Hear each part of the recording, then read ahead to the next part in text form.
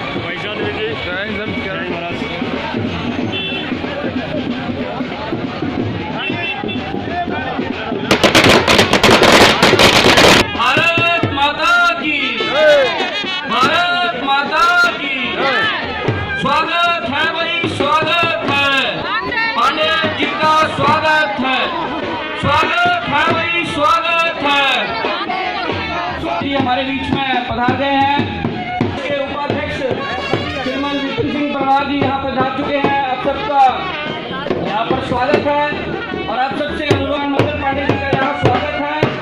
हम सब लोग भारत माता की जय का भारत माता की, भारत माता की। एक बार फिर से ज़ोर से उद्घोष कर रहे हैं कि वो आगे की करें मंच पे आए तथा आए हुए सभी मेहमानों का स्वागत करें। भाई संजीव सोनी जी। टोपी तथा कुछ दे के सम्मान करें अरविंद थोड़ा पीछे। श्री संजीव सोनी जी टोपी पहनाएँगे भाई प्रवीण जी शॉल पहनाएँगे।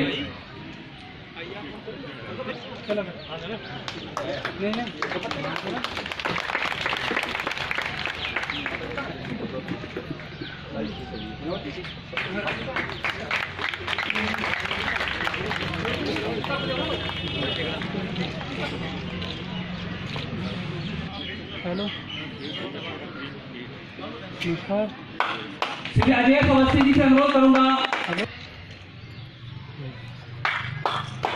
श्री सुदर्शन जी श्री अनिल राणा जी।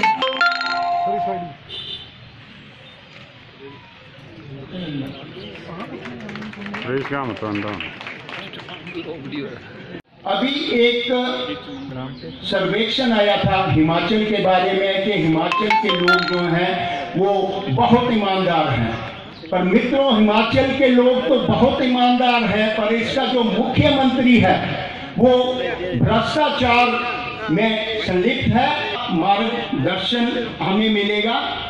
तो उसमें सिर्फ़ आप कार्यकर्ताओं से मिले थे और आज आप जनता को संबोधित करेंगे।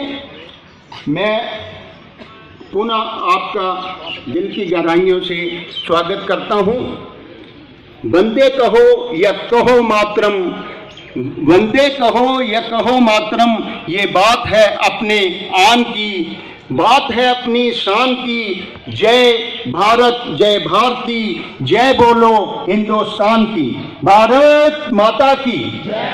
मैं इन्हीं शब्दों के साथ अपनी वाणी को विराम देता हूँ और आप सब का जय हिंद, जय भारत, जय भाजपा। धन्यवाद। सदा सिंह साढ़े चार वर्ष हो गए। और इन साढ़े चार वर्षों में मैं पूरे प्रदेश की बात नहीं करूँगा, वो विपिन परमार जी करेंगे। पूरे राष्ट्र की बात हमारे प्रभारी मंगल पांडे जी करेंगे। परंतु पानपुर विधानसभा क्षेत्र की जो दुर्दशा है, वो आपके समक्ष है। आप सभी साक्षी हैं। इस पानपुर विधानसभा क्षेत्र का हमारा सौभाग्य भी है और दुर्भाग्य भी है। सौभाग्य है, श्री शांता कुमार जी की एक कर्म शरीफ है दुर्भाग्य है कि ये पानपुर विधानसभा क्षेत्र एक धन बल के आगे गिरवी होता चला रहा है। आज पानपुर के जितने भी कार्य हैं, चाहे वो कृषि विश्वविद्यालय है, चाहे वो सी एस आई आर है, चाहे वो कायाकल्प है, चाहे वो बीएमआई है, चाहे वो सोलह वन विहार है, अनगिनत असंख्य कार्य, इन कार्यों को मित्रों घटा दिया जाए तो आज पानपुर उसी धरातल, उसी चुराई पर खड़ा है। पार्लियामेंट्री में शुरू हुई। उसी दिन 31 साल बाद शिमला नगर निगम में भारतीय जनता पार्टी ने रिकॉर्ड तोड़ा और भारतीय जनता पार्टी का नगर निगम बनी। आज जैसे ही इस सभा स्थल पे हम पहुँच रहे थे रास्ते में मंगल पांडे जी को फ़ोन आया सतपाल जी का कि हमारा मेयर बन गया है। 19 तेरह से भारतीय जनता पार्टी का मेयर जीत गया है। ये दूसरा शगुन हुआ। और तीसरा शगुन अभी मंच पे बैठे बैठे ना फ़ोन आया कि जो डिप्टी मेयर है, वो उसको 20 मत मिले हैं 20 12 से हम जीते हैं। इसके लिए आप सब कार्यकर्ताओं को बहुत बहुत बधाई।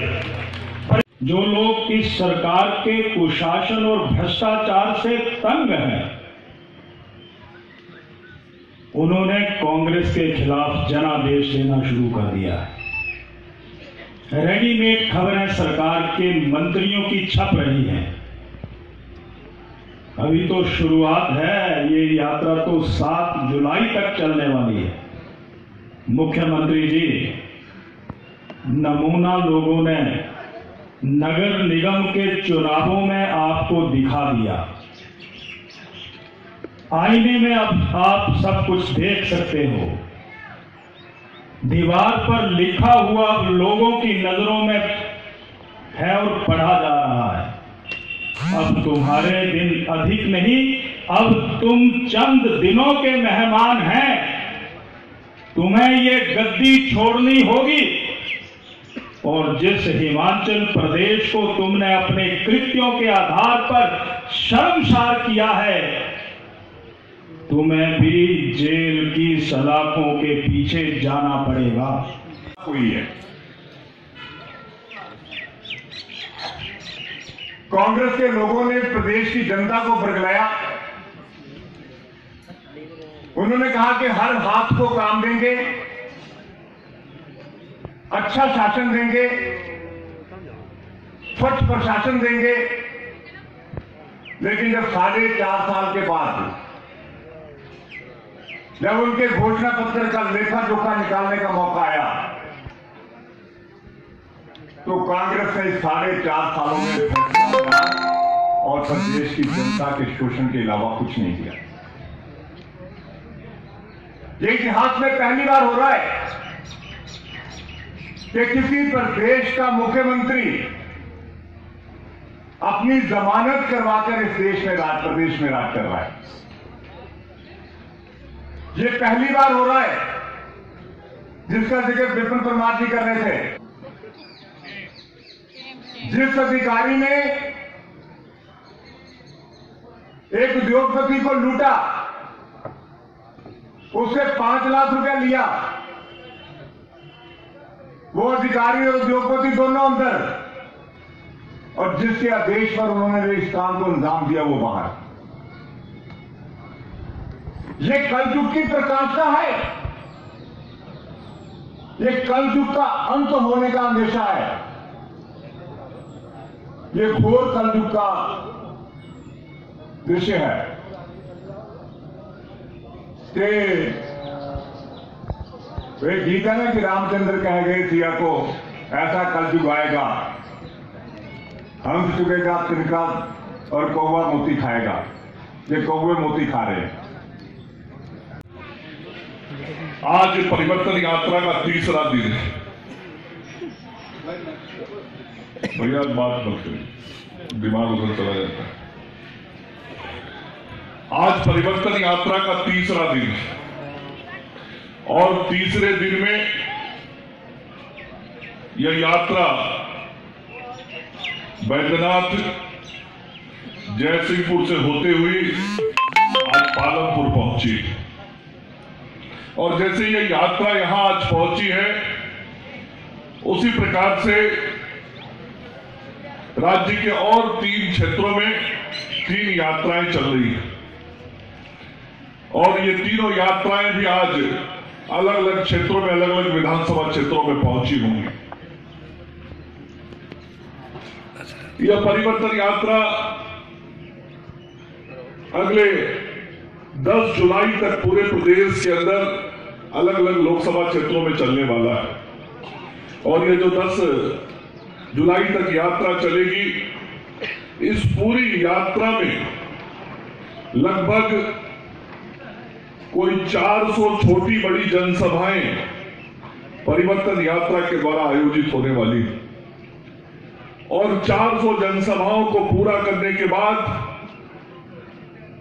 यह यात्रा समाप्त होगी।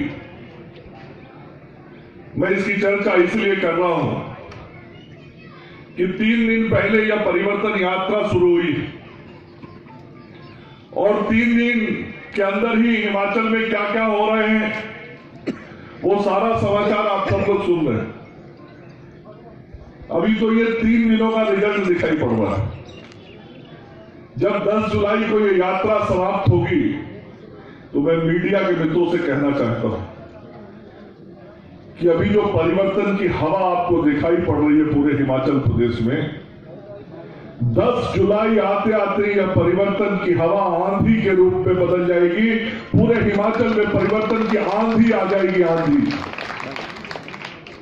आज परिवर्तन की आवाज़ जो गाँव के गलियों में है, जो गाँव के घरों में दबी हुई है इस यात्रा के माध्यम से भारतीय जनता पार्टी के कार्यकर्ता उन आवाजों को सड़कों पर लाने का काम करेंगे। वह आवाज़ जो किसी घर के अंदर आज चल रही है, किसी घर के अंदर आज जो चर्चा हो रही है परिवर्तन की वह आवाज़ घरों के अंदर तक नहीं रहने वाली है। इस परिवर्तन यात्रा के माध्यम से वह आवाज़ हिमाचल के हर सड़कों पर दिखने वाली है और निकलने वाली है और वही आंधी का स्वरूप ग्रहण करने वाली है। यह यात्रा इतना बड़ा परिवर्तन इस प्रदेश के अंदर लाने वाला है। आखिर हिमाचल की जनता परिवर्तन क्यों चाहती है? आज मैं पिछले एक डेढ़ महीने से हिमाचल प्रदेश में घूम रहा। जिस भी तरह के लोगों से मिलता हूँ, चाहे गाँव का गरीब हो, मजदूर हो, किसान हो, महिलाएँ हो, नौजवान हो, व्यवसाय करने वाला व्यापारी हो, छोटा दुकानदार चलाने वाला हो, खोमचा पे शिमला में दुकान लगाने वाला हो, सबसे बात करता हूँ, भाई साहब, कैसी सरकार चल रही है? क्या होना चाहिए आगे? सब एक ही आवाज़ लगाते हैं। सब एक ही आवाज़ लगाते हैं कि अब तो हिमाचल में परिवर्तन ही होना चाहिए, क्योंकि यदि हम सब लोगों की ज़िंदगी अब सुधरनी है, सवरनी है, हिमाचल को विकास के रास्ते पे आगे ले जाना है तो अब परिवर्तन के सिवा दूसरा कोई विकल्प हम सब लोगों के सामने नहीं। यह हिमाचल की जनता की आवाज़ है। और जो हिमाचल की जनता की आवाज़ है, उसी आवाज़ को नाम देने का काम भारतीय जनता पार्टी ने किया है। जो हिमाचल की जनता की आकांक्षा है, उस आकांक्षा को जनता के सामने लाने का काम किया है।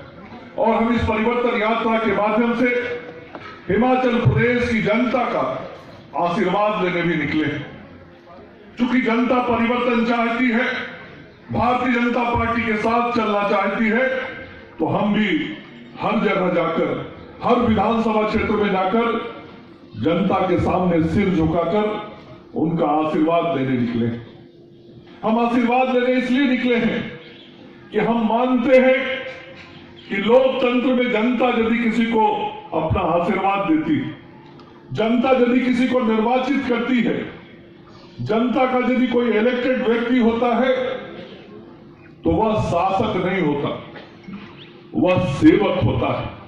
और सेवक को हमेशा अपने मालिक के सामने सिर झुका के रखना चाहिए। सेवक को हमेशा हाथ जोड़ के खड़ा रहना चाहिए और जनता की समस्याओं के समय आगे दिखना चाहिए। इसलिए भारतीय जनता पार्टी का कार्यकर्ता सेवक के भाव से चुनाव के अभी तीन चार महीना पहले से ही जनता के बीच में घूमकर उनका आशीर्वाद मांगने का काम कर रहा है। क्योंकि हम मानते हैं कि हम सेवक हैं हमारे देश के प्रधानमंत्री नरेंद्र मोदी भी कहते हैं, मैं प्रधानमंत्री नहीं, मैं इस देश का प्रधान सेवक हूँ। और जो हमारा सबसे प्रमुख नेता, सबसे मुखिया जो हमारा है, वो अपने को इस देश का प्रधान सेवक मानता है तो भारतीय जनता पार्टी का तो एक एक कार्यकर्ता हर गाँव के रहने वाले लोगों का सेवक। लेकिन दुर्भाग्य यह है कि हिमाचल प्रदेश में आजकल कुछ लोग जो लोकतंत्र में निर्वाचित होकर आते हैं, वो अपने को सेवक नहीं समझते। वो अपने को राजा समझते हैं, राजा। उनकी पार्टी के लोग भी कहते हैं, ये तो हमारा राजा है। मैं कांग्रेस पार्टी के लोगों को बड़ी साफ़ साफ़ कहना चाहता हूँ। गलतफहमी में मत जियो तुम, और ना गलतफहमी में रहो। लोकतंत्र में राजा कोई निर्वाचित व्यक्ति नहीं होता है। लोकतंत्र में राजा जनता होती है, जनता होती है, जनता जिसको वोट देती है, वो राजा होती है, उस राजा के सामने सिर झुकाओ। लेकिन ये कांग्रेसी वीरभद्र सिंह के सामने जाके सिर झुकाते। वीरभद्र सिंह राजा नहीं हो सकते। इस लोकतंत्र में, लोकतंत्र का कोई मालिक है कोई रखवाला है, कोई राजा है तो वह हिमाचल प्रदेश की बहत्तर लाख जनता है और वही बहत्तर लाख जनता में से जो 50 लाख मतदाता है, वही तय करेंगे हिमाचल प्रदेश के भविष्य को। कोई राजा हिमाचल की भविष्य को तय नहीं कर सकता। लेकिन कांग्रेसियों को गलतफहमी हो गई। और कांग्रेसियों की गलतफहमी को हिमाचल प्रदेश की जनता ने उतारना शुरू कर दिया। मित्रों तो कोई कल्पना भी नहीं करता था कि शिमला नगर निगम के चुनाव में